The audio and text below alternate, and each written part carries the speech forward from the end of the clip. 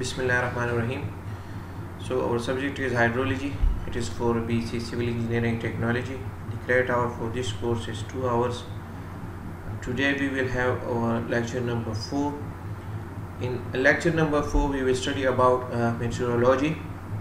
So uh, what is meteorology? It is uh, the study uh, related to the atmosphere or the science related to the atmosphere is known as meteorology why we study meteorology why it is necessary why uh, the knowledge of meteorology is necessary? Uh, the knowledge of meteorology is necessary uh, in order to estimate the probable maximum uh, precipitation. Also it is necessary in order to optimize uh, to find the optimum snow melt conditions. And in order to design various hydraulic structure the study of meteorology is very much important. Uh, for a hydrologist uh, the study of meteorology is important and they should know because uh, it is important to know about the regional climate meteorological processes uh, in order to design various hydraulic structure. So these should be uh, these are important points that a hydrologist should know Uh, some common definitions or some common terms related to meteorology uh, we, in, we will discuss them. So the first one is the atmosphere. So uh, the atmosphere is actually the gaseous envelope around the earth. Uh, so uh, the whole gaseous above the earth's surface is known as the atmosphere or the gaseous envelope above the earth's surface is known as the atmosphere uh, our atmosphere contains a dry air, water vapors and various kinds of salts and dust. Uh, the dry air contains nitrogen about 78.09%, oxygen 20.95%, argon uh, 0.93% and carbon dioxide 0.03%. So these are the different uh, uh, components you should say of the dry air and these are the different percentages or weightage uh, dry air contains these are the different gases uh, which we have in dry air. The uh, total amount of dry air in water vapors would be around uh, 5600 billion tons and uh, about uh, 146 billion tons respectively. So these are the different amounts which we have the total dry air amount would be around 5600 billion tons and uh, that of the uh, water vapors is about 146 billion tons. If all of the uh, water vapor present in the atmosphere are imagined to condense uh, at the same time and fall uniformly over the entire surface then uh, according to the studies it will accumulate uh, to a depth of 25 mm next जो layer है वो हमारे पास जो है troposphere so what is troposphere it is the zone of atmosphere adjacent to the earth ये हमारे पास जो है एक एटमोसफियर का जोन है जो कि एडजेसेंट टू द अर्थ है. It extends approximately up to seven miles above the sea level इसकी जो हाइट uh, है या जित uh, जो जितने हाइट के ऊपर है अबव सी मीन लेवल से तो ये तकरीबन जो है सेवन माइल बनता है. ट्रोपोस्फियर जो लेयर है ये हमारे पास जो मीन सी लेवल से लेकर सेवन माइल्स के बाद जो है, ये लेयर हमारे पास जो है स्टार्ट होती है।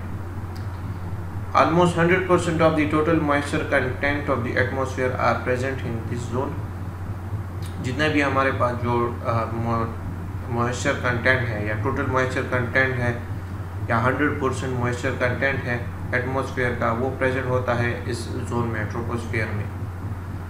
There is comparatively high temperature gradient in this part of the atmosphere और यहाँ पर comparatively high temperature होता है आ, आ, आ, इस part of atmosphere में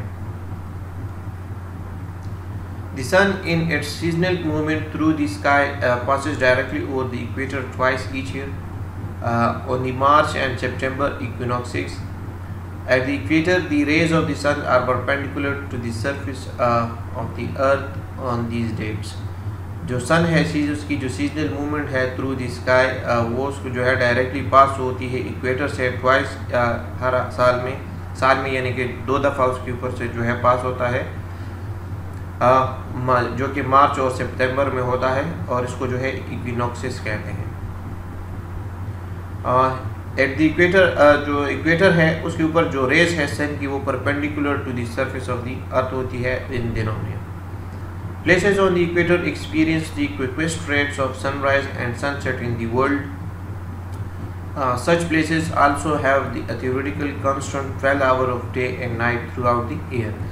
जो प्लेसेस है इक्वेटर के ऊपर वो जो है क्विकेस्ट जो है सनराइज और सनसेट जो है एक्सपीरियंस करते हैं इन दिनों में ठीक है यानी कि इक्वेटर के पास जो इलाके हैं और नॉर्मली जो है थियोरेटिकली जो है, यहाँ पर जो दिन होता है वो तकरीबन जो है 12 आवर्स का होता है, ठीक है throughout the year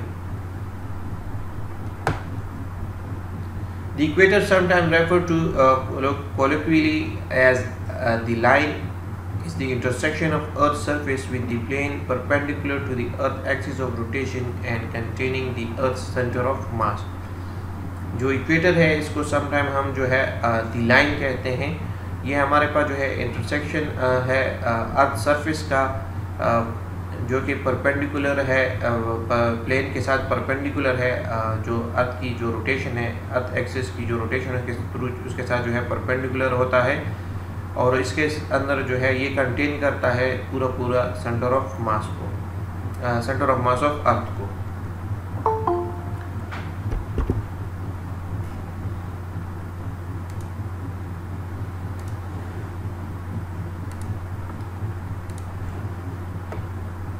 Next is what uh, vapor pressure. Uh, so it is the pressure exerted by the amount of water vapors present in the atmosphere.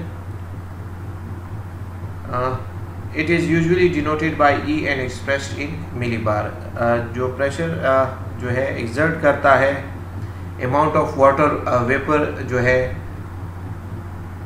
जो कि प्रेजेंट होता है एटमॉस्फेयर उसको जो है हम जो है कहते हैं वेपर प्रेशर यानी कि जितना भी हमारा जो एटमॉस्फेयर है, उसके अंदर जो वाटर वेपर है, उसकी वजह से हमारे सरफेस के ऊपर जो है अर्थ सरफेस के ऊपर जितना प्रेशर जो है एग्जर्ट होता है, उसको हम कहते हैं वेपर प्रेशर इसको हम डिनोट करते हैं ई e से और ये हमारे पास जो है एक्सप्रेस्ड होता है मिली बार्स में.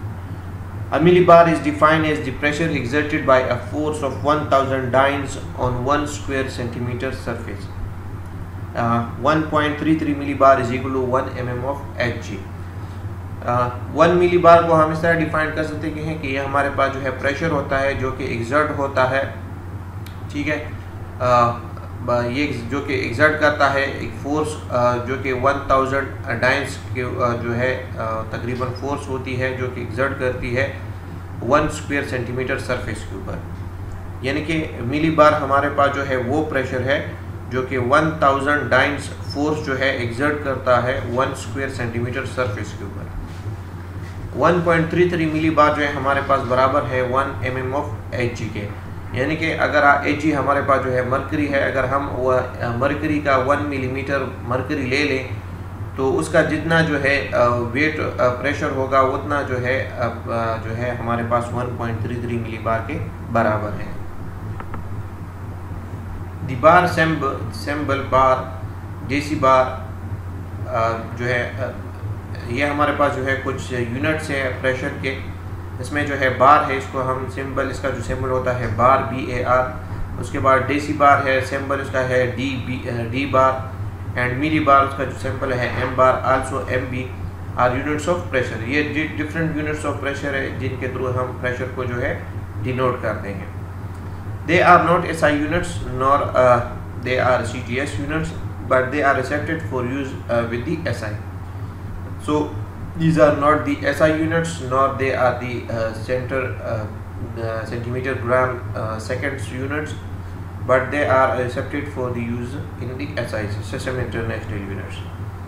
The bar is widely used in a description of pressure because it is about the same as atmospheric pressure and is legally recognized in countries of the European Union. जो बार है ये widely use होता है description description of in the description of pressure ठीक है? Description pressure को describe करने के लिए वाइडली जो है यूज़ होता है bar because it is about the same atmospheric pressure चूँकि इनका जो है सेम एटमॉस्फेरिक प्रेशर होता है ठीक है? एंड लीगली ये जो है रिकगनाइज होता है uh, जो कंट्रीज़ है जिनको जो है ये रिकगनाइज करते हैं तो वो हमारे पास जो है नॉर्मली यूरोपियन कंट्रीज़ हैं। तो ये इनको जो है लीगली जो है रिकगनाइज करते हैं ये countries bar decibar we bar are defined as one bar is equal to hundred kilo pascal यानी कि जो बार है डेसी बार मिली बार इनको हम जो है इस तरह डिफाइन करते हैं कि हमारे पास जो वन बार है वो हंड्रेड किलो पास्कल के बराबर है, जो कि तकरीबन जो है दस लाख डाइल्स के बराबर है per square centimetre one day जो डेसी बार है, वो हमारे पास ज़ीरो पॉइंट वन बार के बराबर है मीन्स के टेन किलो पास्कल मीन्स के one lakh dynes per second per square centimetre और वन जो मिली बार है, वो हमारे पास zero point zero zero one bar के बराबर है that is equal to zero point one kilo pascal और that is equal to thousand dynes per square centimetre pascal is one newton per square metre pascal जो है हमारे पास जो है प्रेशर का यूनिट है जिसको हम ऑलरेडी फ्लूड मैकेनिक्स में पढ़ चुके हैं और ये हमारे पास बराबर होता है newton per square metre uh, temperature of water vapor is the same as that of the air in the atmosphere, the maximum amount of water uh, vapor may be said to depend on the air temperature.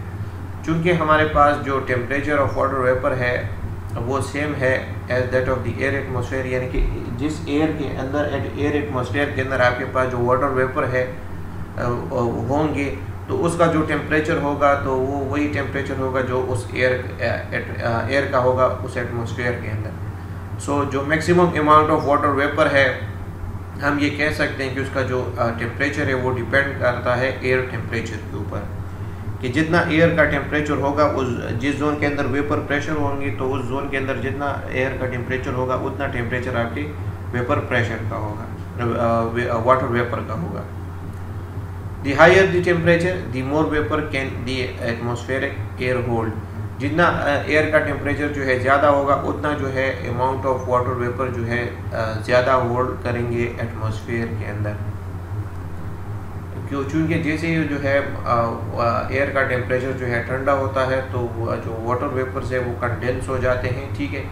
नज़दीक नज़दीक आ जाते हैं result उनका जो है wait ज़्यादा हो जाता है और वो जो है ज़मीन पर गिर जाते हैं in the form of precipitation उसके बाद जो है सेचुरेशन वेपर प्रेशर है। When a sample of air holds the maximum quantity of water vapours at a particular temperature it is said to be saturated so saturated vapour pressure क्या है कि जब हमारे पास जो सैंपल ऑफ़ एयर है, वो होल्ड करता है maximum quantity of water vapour को एट ए पार्टिकुलर टेम्परेचर तो उसको हम कहते हैं saturated vapour pressure so again saturated vapour क्या है कि जो मैक्सिमम जो ख़ास टेम्परेचर के ऊपर पार्टिकुलर टेम्परेचर के ऊपर, जब हमारे पास जो है air maximum quantity of water vapour hold करता है, उसको हम जो है सेचुरेटेड वेपर प्रेशर कहते हैं।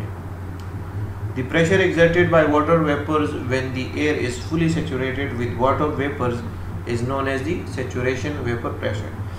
और जो saturation saturated air water vapour है, वो जो प्रेशर एग्जर्ट करते हैं, उसको हम कहते हैं saturated water vapour pressure saturation vapour pressure in physics the dyne symbol जी इसको जो फिजिक्स के अंदर जो है डाइन को डी वाई एन से डिनोट करते हैं और ये हमारे पास जो है ग्रीक वर्ड है जो डायनेमिक्स से निकला है और इसका मीनिंग है power force so it is a unit of force specified in the centimetre centimetre gram second system of units predecessor, predecessor of the modern SI.